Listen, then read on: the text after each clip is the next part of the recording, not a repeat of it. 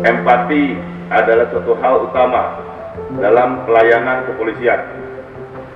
Kepelayanan kepolisian indikator yang paling utama adalah empati, yaitu perasaan kita apabila kita sebagai masyarakat yang datang meminta pelayanan kepada kepolisian, maka apa yang diinginkan oleh kita pasti akan diinginkan oleh masyarakat.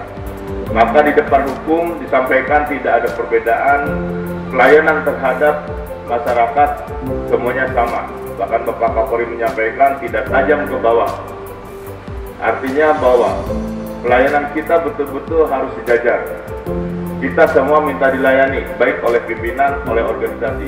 Begitu juga masyarakat sangat-sangat ingin dilayani dengan baik oleh kita, dan kita dengan ketulusan dan niat baik insya Allah hasilnya akan baik.